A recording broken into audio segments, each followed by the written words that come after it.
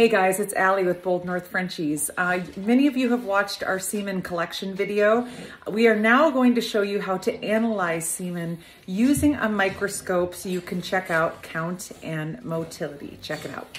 Okay guys, so we have extracted the semen with this pipette from the collection bag and placed it just a small amount on this glass slide of the Celestron microscope. And as you can see, we have swimmers, excellent count and motility, and that is what we are looking for for a working stud. This is the semen of our full fluffy stud, Uno, and he has swimmers. So this is how we analyze semen with a microscope.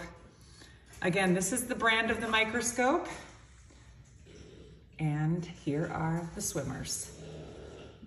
Semen is moving in all four corners of the screen.